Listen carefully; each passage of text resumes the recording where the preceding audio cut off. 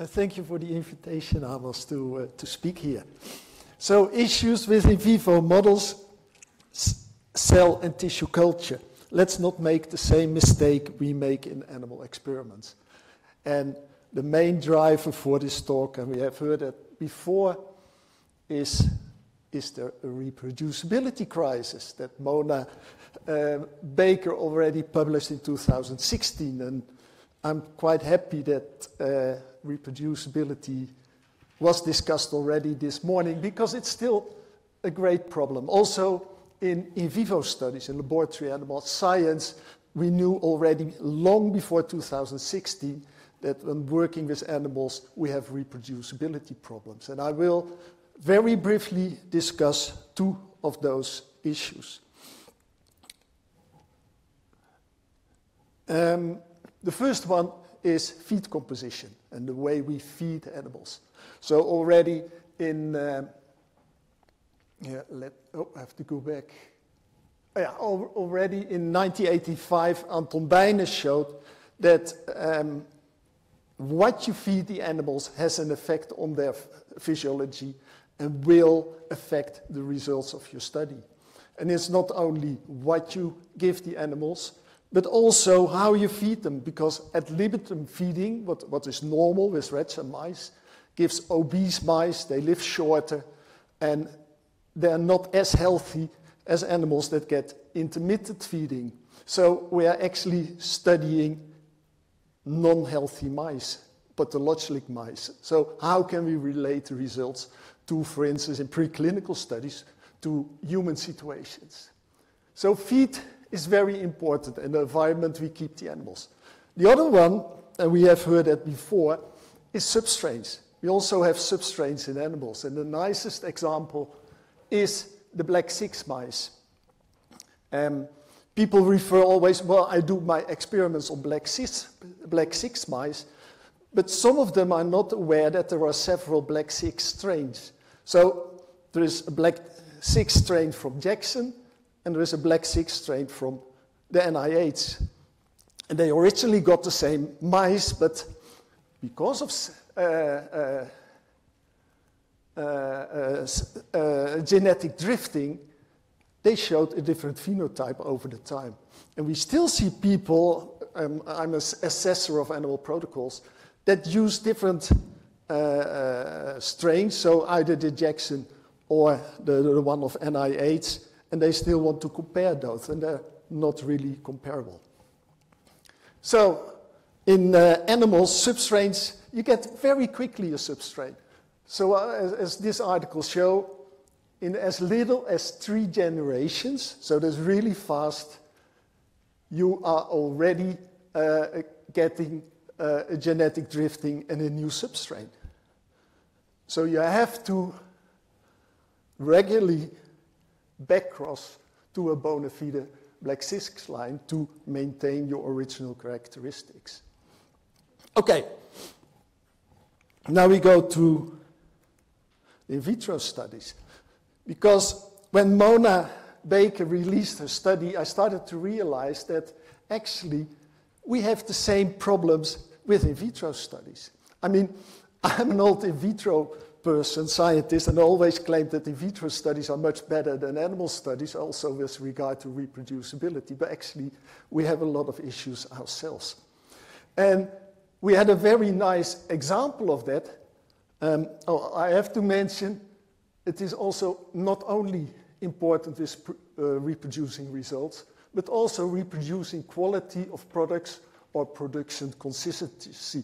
So when you use the cell lines, for instance, for the production of vaccines, etc., it's very important that you use always a, a, a, nice cell of which you know what it actually is. So um, in 2021, there was an interlaboratory study published, and they uh, studied the variability of A549 cells. So there were two laboratories, one in Switzerland, one in the UK, they followed the same SOPs. They got the cells from the same supplier, ATCC, and they got fetal bovine serum from the same supplier, Sigma. So those are the two issues I'm going to focus on. And these are the results. just the basic cell properties. Cell viability was different, number of cells per square centimeter was different, and the transepithelial electrical resistance of the cells of the two cultures were different, significantly different. And then they, they started to investigate what's the problem behind that, what is causing this difference. And the first culprit they found was FBS. And they found out that they didn't get the same FBS, they got FBS from different lots. And so they say that F FBS can strongly affect the outcome. And in the results, they refer to our 2010 paper, where we discussed that batch to batch variability related to vari variations in the concentration of serum components because it's a biological product, so it can't always have the same uh, uh, composition. In addition to the unknown exact composition of FBS, we still don't know what's the exact composition, can also ultimately lead to experimental variability and limit interlaboratory reproducibility. And that led the authors to conclude that if you use FBS in different studies, it will be very hard to get the same results because it will be very hard to get FBS in the, all the different laboratories from the same lot. So it's very likely you get FBS from different lots, and it's very likely that you get different results. So they suggest that we should go to alternative approaches and um, not involving fetal bovine serum. So animal-free serum preferably. And that there is a batch-to-batch -batch difference was already known at the time that the first paper was published showing that FBS was a nice growth medium for the cells because Buck, who invented it, in the same paper already observed that there was variability of performance um, when uh, serum was collected in winter or in spring and compared to the other seasons. And we now know that there are a lot of differences not only to the different seasons, but also to the areas where we have uh, where we raise the herds. And in addition, and that's uh, important nowadays, when we produce pharmaceuticals, he also noted that there are toxic factors in serum. And that's, for instance, nowadays one of the reasons why EMA here in Europe and uh, EPA don't allow serum in the medium when you are going to produce pharmaceuticals with in vitro methods. Okay, serum provides proteins, vitamins, hormones, shear force protection, attachment, factors, and tracer elements, and it's very important for its growth factors. So almost all cells grow. With serum, it has a limited number of antibodies, and therefore it's regarded as a universal medium. So that's why it's so popular at the still at the moment. But there are scientific problems. So the composition of FBS is unknown, so you don't know what you add to your cells and what is influencing the compounds that you might be testing. Well, we have seen that qualitative and quantitative variation between different serum batches may contain different amounts of endotoxins, hemoglobin, and other adverse factors, and may be contaminated with viruses, bacteria, fungi, mycoplasma, and prions, and that lead to reproducibility problems in experiments and safety of the products. In addition, there are animal welfare issues. So there are problems with the transportation of the pregnant cows, which is a problem nowadays in Europe because they have restricted the transportation of pregnant cows. But also the withdrawal of blood from the fetus is a problem, but we cannot always get the guarantee from the slaughterhouse that the uh, fetuses are already dead at the moment they do the heart puncture to collect the blood. So the conclusions when considering supplementing cell and tissue culture with animal serum, actually the not unless principle should applied, be applied. Preferentially, the medium should not contain any animal-derived component unless it was proved to be an absolute requirement. So, how do you replace fetal bovine serum? Well, one of the solutions is go to the FCS-free database. We have established the FCS-free database together with uh, Animal Free Research UK. And if you go into the FCS-free database, we have 286 different cell types there at the moment, so still rather small, for which we have 651 different medium. The reason that it is small, that only until recently, uh, people haven't developed serum-free media. since the last five to 10 years, people start to be um, developing those uh, serum-free media, and, and it involves a lot of time before you have a serum-free medium. So you go, oh, the, the FCS-free database is uh, composed of commercially available products. That was the original basis.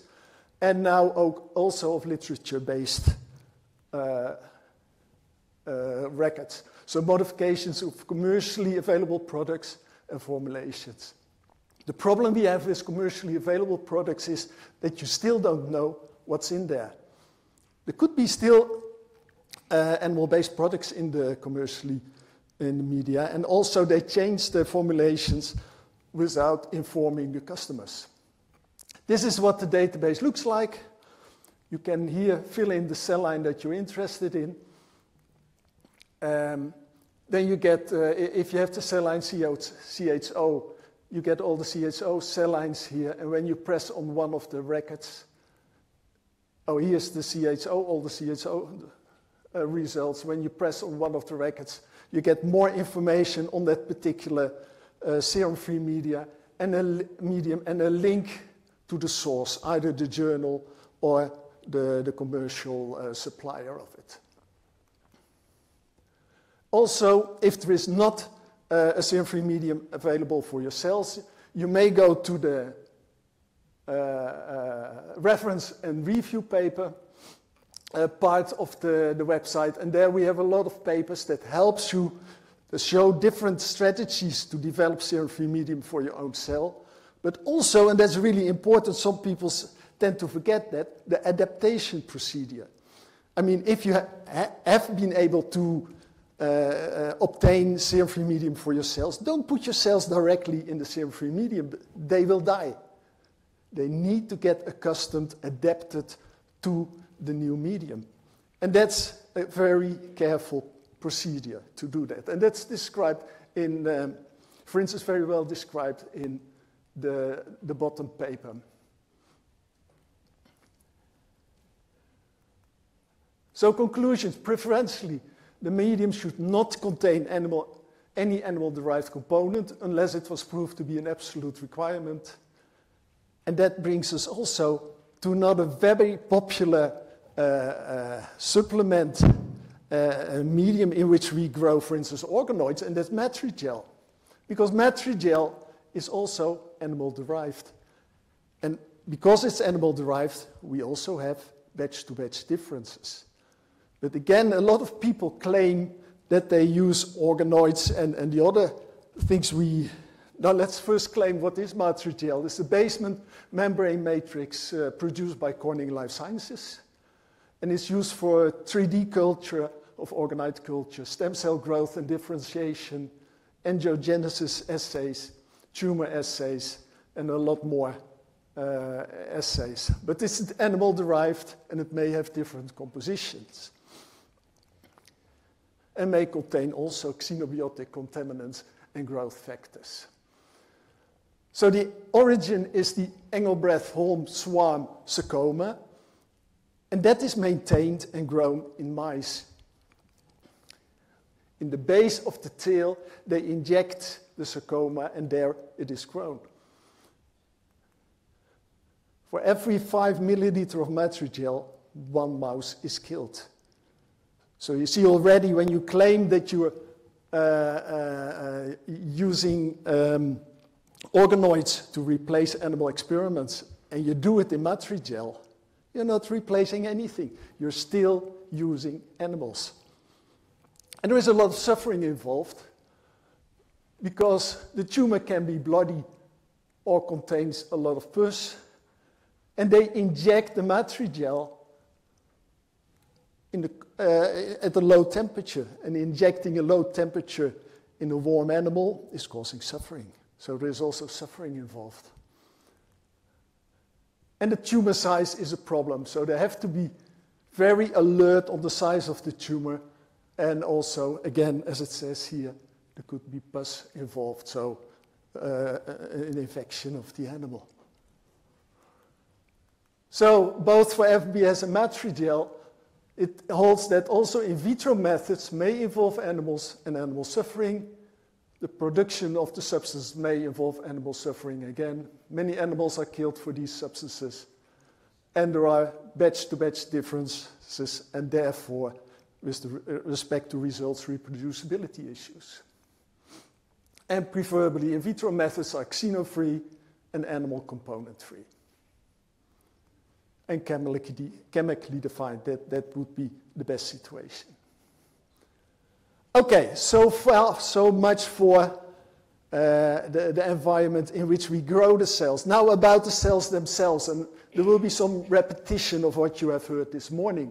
Because another culprit that caused that uh, uh, difference in results between the two laboratories was they obtained a different batch of cells a different lot of cells. They were not informed by that. They had to go back to the ATCC to find out that they obtained a different lot. And again, different batches of cells potentially introduce experimental variability because the exact differences between the batches is not disclosed by the provider. And one of the causes, and we have heard that before, is genetic drifting. And Quevedo found that that is prevalent in almost cell lines with a medium of 4.5% to 6.1% of the total genomes, genome size. So ATCC also recommends to uh, passing the cell line for no more than two months of continual culturing because after the two months the cells may have, may have diverted so much away from the original cell that it is not really representative anymore of the original cell. So that's what, what Hughes also uh, um, concluded. They no longer represent reliable models of the original source material. So you should not overpassage your cells.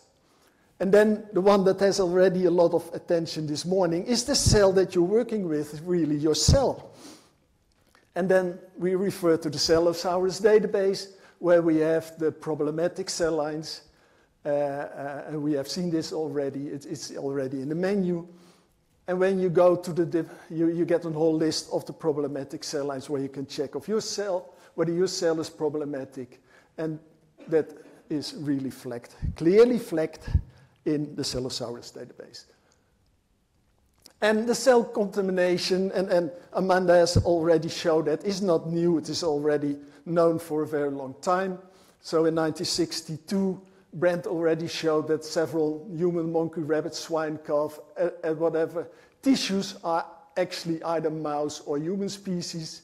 And we heard a name Gartler this morning also already, and he showed in 1960 that four cell lines, three stated of human origin and one of rabbit origin, were actually mouse origin probably consisting of L cells. So the contamination, we have that already for a long time. And also Gartler showed that different cell lines were not the cell lines that were supposed to be. They were actually the cervical cancer cell line, HeLa. And, and that's, well, we know that's a very problematic cell line that affects a lot of other cell lines. So go to the Cellosaurus database. So what are the costs of unauthenticated cell lines? between 18 and 36 of cell lines may be contaminated or misidentified at the moment, at, uh, at the moment of 2018 when Hughes published his results. So that's quite a lot, between 80% and 36%. So that really shows uh, what others has, have already, already um, uh, argued this morning, that you have to have your cells regularly checked either by DSMZ, ATCC, and whatever organization that provide these services.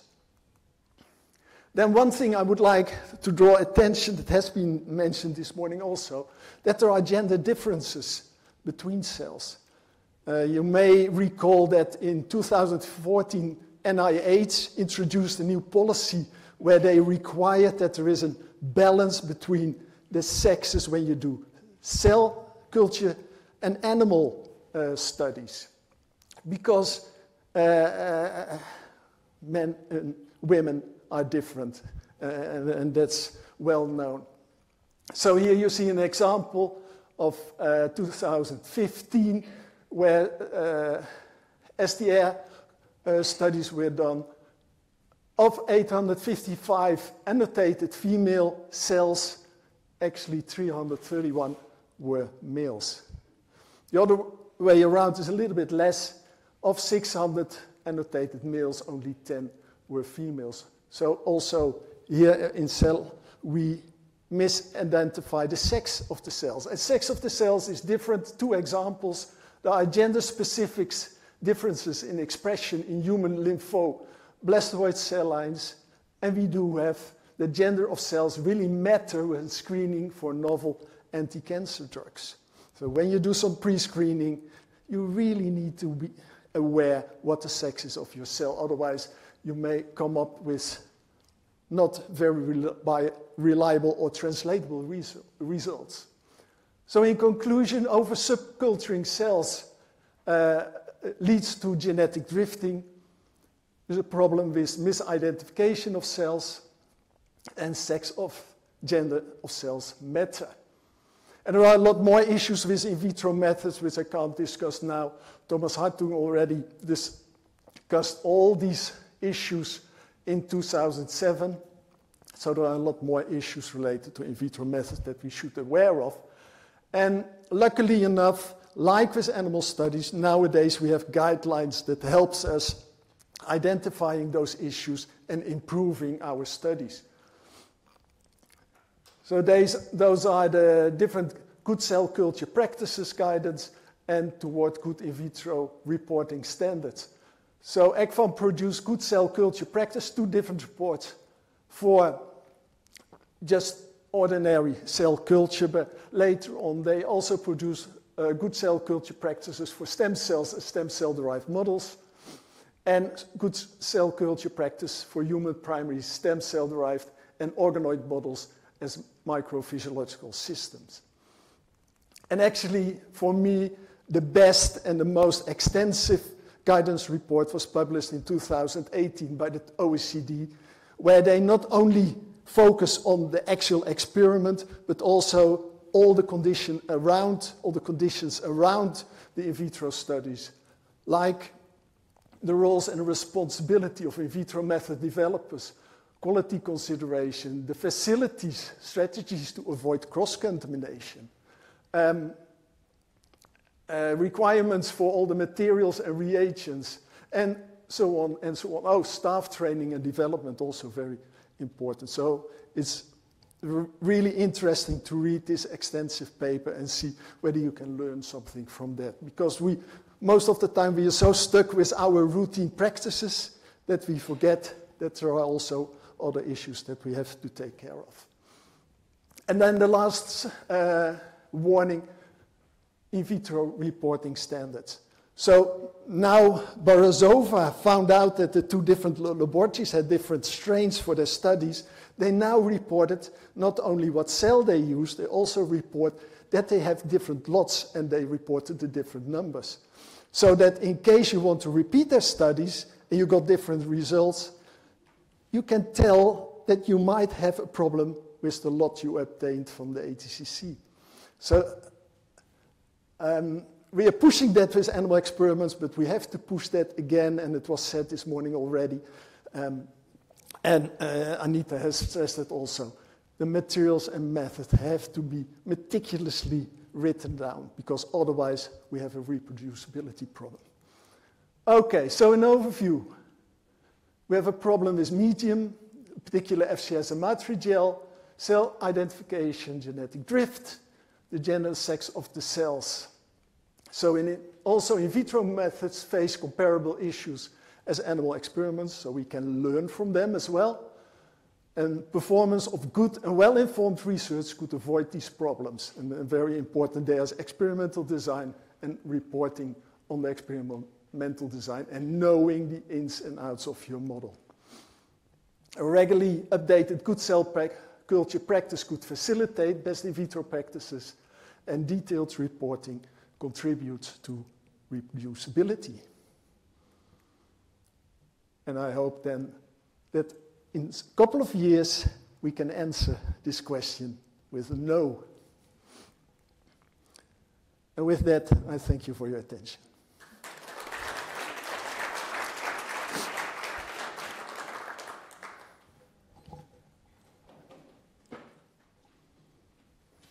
Thank you very much. And uh, I think it's very, very important for all people working in labs that all this consideration. Uh, I, I, was thinking about something because in the lab I, not, I, could notice that also a very important aspect is the time when you are doing your experiment, especially when you are working on metabolism, for instance.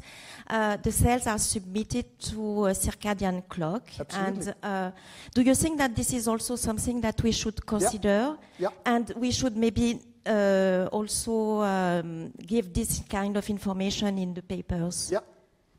Yeah we have seen, well, I didn't have time to discuss that, but in, in, in a much longer presentation, I, I, had that as an example, and I, I showed you their papers where they sh uh, uh, uh, showed different results uh, dependent on the time of the day, because indeed cells do have a circadian rhythm. Yeah.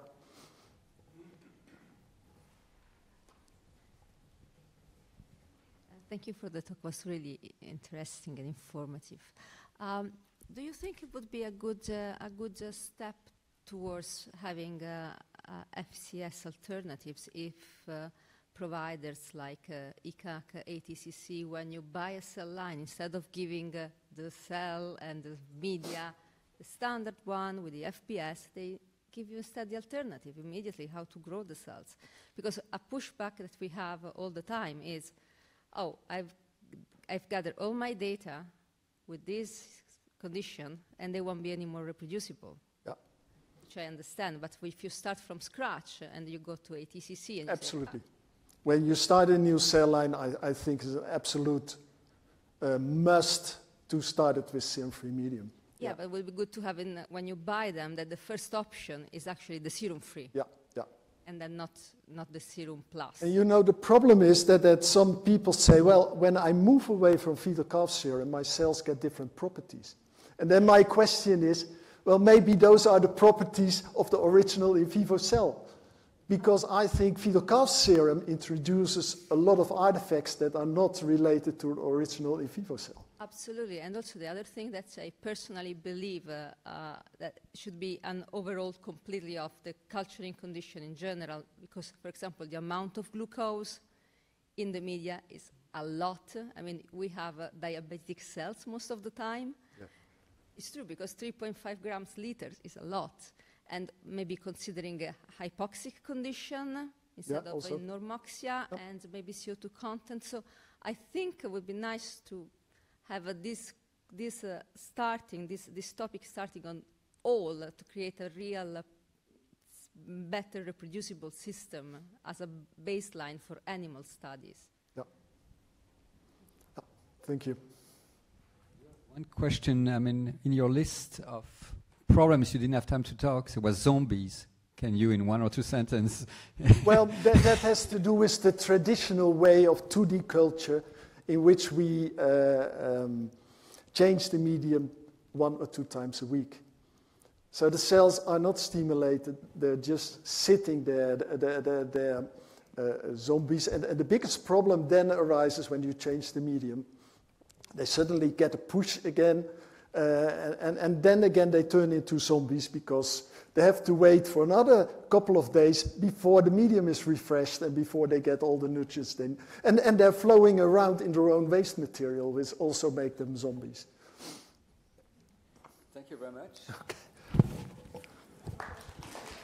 Sorry, so as a... I'm sorry, yeah. sorry. I, I have a question. So I wonder how people made serum-free medium.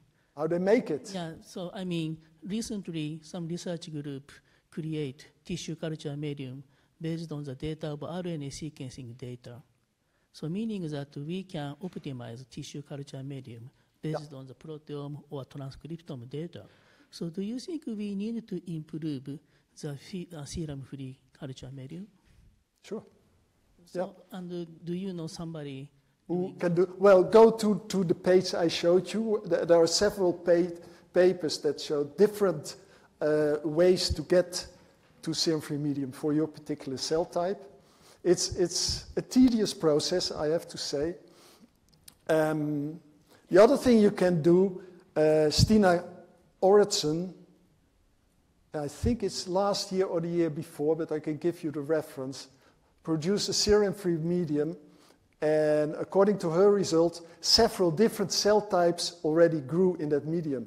Because for the ones who are not familiar with serum-free medium, up until now, uh, the new medium you develop was really particular for each cell type. Each cell type needs its own serum-free medium. So it was a challenge now to find a universal serum-free medium. And it seems that Stina Oredsson has found uh, a serum-free medium. So that's worth trying it. She gives the full formulation in her paper, so you can easily use that as a basis for uh, your cells. Thank you.